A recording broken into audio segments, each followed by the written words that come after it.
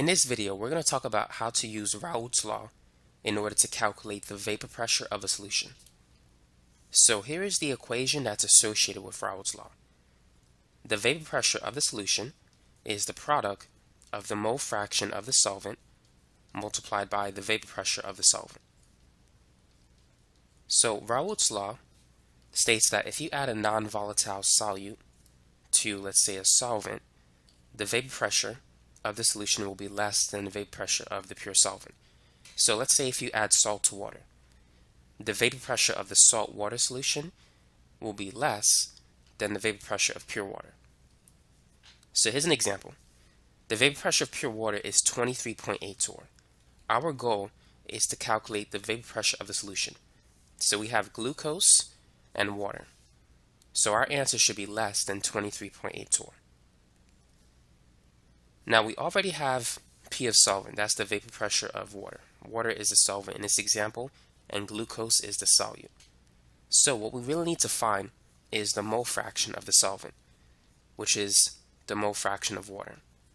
That's equal to the moles of water divided by the total moles in a solution, which is the moles of water and the moles of glucose. So let's calculate the moles of each substance. So let's start with water. We have 500 milliliters of water, and the density of water is 1 gram per milliliter. So we have 500 grams of water. Now the molar mass of water is about 18.016 grams. So this is going to be 500 divided by 18.016. And so we have 27.753 moles of water. Now let's calculate the moles of glucose. So we have 30 grams of glucose. And if you don't know the chemical formula of glucose, it's C6H12O6. So we got to find the molar mass of glucose. So that's going to be 6 times the atomic mass of carbon, which is 12.01, plus 12 times the atomic mass of hydrogen, which is 1.008, and 6 times the atomic mass of oxygen.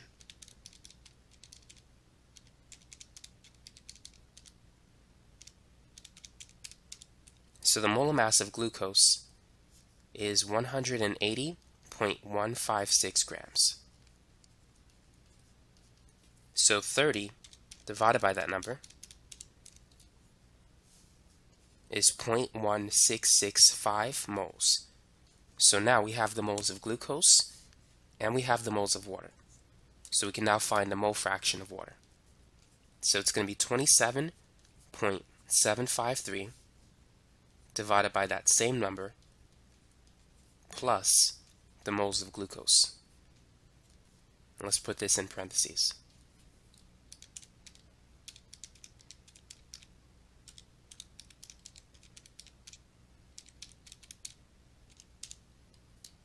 So the mole fraction is 0.994.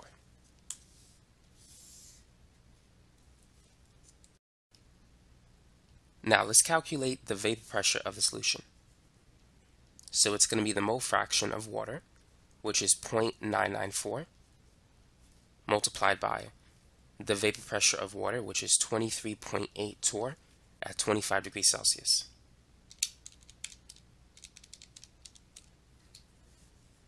So the vapor pressure of the solution is a little bit lower than 23.8.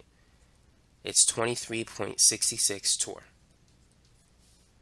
So now you know how to calculate the vapor pressure of the solution when you have a non-volatile solute dissolved in water. Now let's work on number two. 40 grams of calcium chloride is dissolved in 600 milliliters of water at 25 degrees Celsius. What is the vapor pressure of the solution? So this time, we have an ionic solute dissolved in water. So how is this problem different from the last one?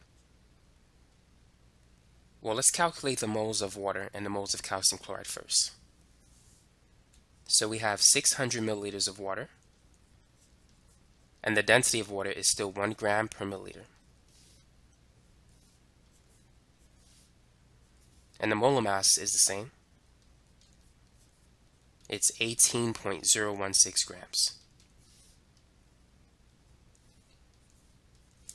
So 600 divided by 18.016, that's going to be 33.304 moles of H2O.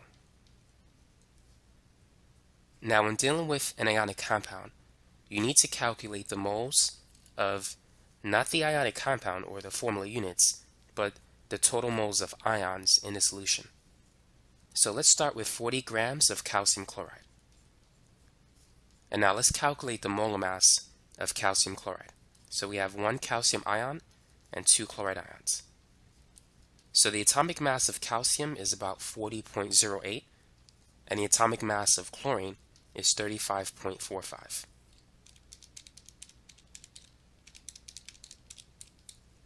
So this adds up to 110.98 grams per mole. So one mole of calcium chloride has a mass of 110.98 grams.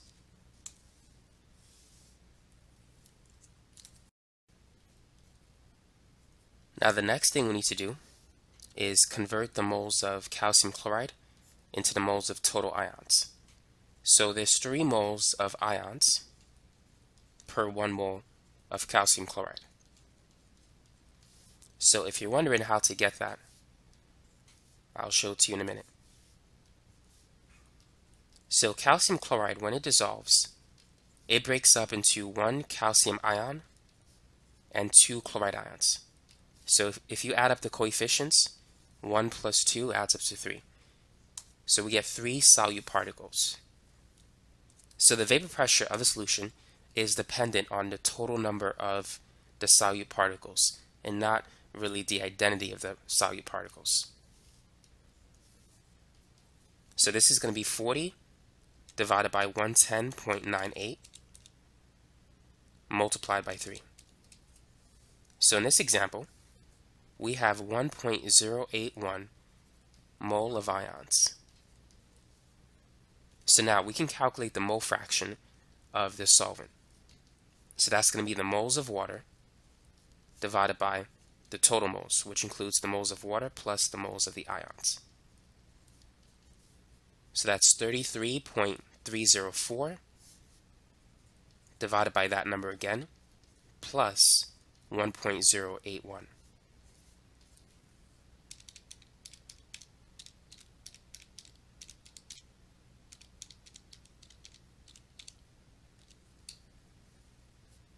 And so the mole fraction is 0.9686.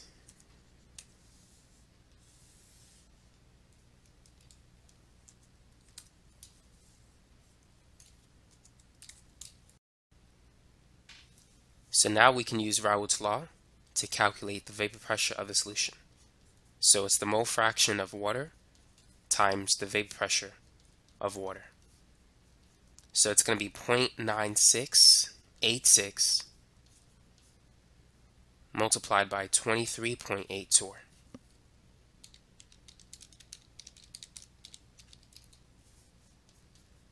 So that's 23.05 torr.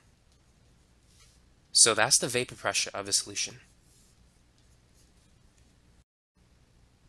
Number three, how many grams of glucose must be added to 250 grams of water at 40 degrees Celsius to create a solution with a vapor pressure of 54 torr? And the vapor pressure of water at 40 Celsius is 55.3 torr. So how can we find the mass of glucose? Well, let's start with Raoult's law. I'm not sure what happened there. The vapor pressure of the solution is equal to the mole fraction of water times the vapor pressure of water. So the vapor pressure of the solution is 54 torr. The mole fraction of water, we don't know, but we need to find it. And the vapor pressure of pure water at 40 Celsius is 55.3 torr. So let's divide both sides by 55.3. 54 divided by 55.3 is 0.9765. So that's the mole fraction of H2O, which means that the moles of water divided by the moles of water plus the moles of glucose, that's equal to 0.9765. So what we need to do is we need to calculate the moles of water. And with that, we could find the moles of glucose.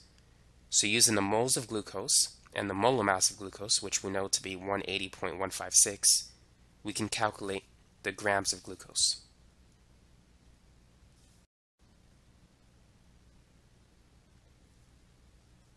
Now let's start with 250 grams of water. And let's convert that to moles. So the molar mass of water is still 18.106 grams. So 250 divided by 18.016 is 13.877 moles. So that's how many moles of water we have. So now let's plug that in to this equation. So we don't need this anymore. So it's going to be 13.877 divided by that same number plus the moles of glucose, which equals, and all of that is equal to 0.9765.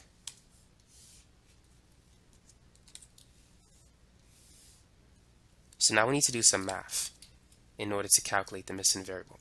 So let's cross multiply. So 13.87 times 1 is just 13.877. And then these two terms multiplied by 0.9765, so we've got to distribute it.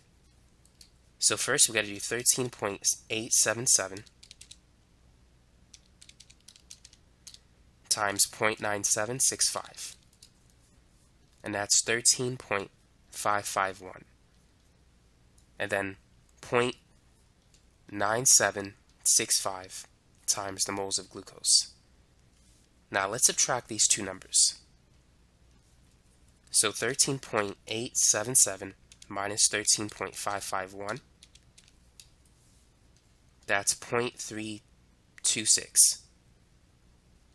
And that's equal to this result. So now we need to divide both sides by 0.9675.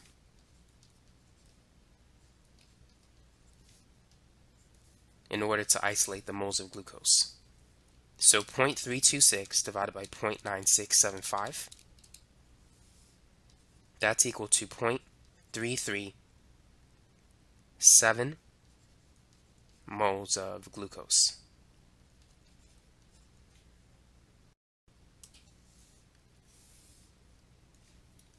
Now the last thing that we need to do is convert the moles of glucose to moles of grams. So let's start with this number and let's multiply by 180.156 grams per mole.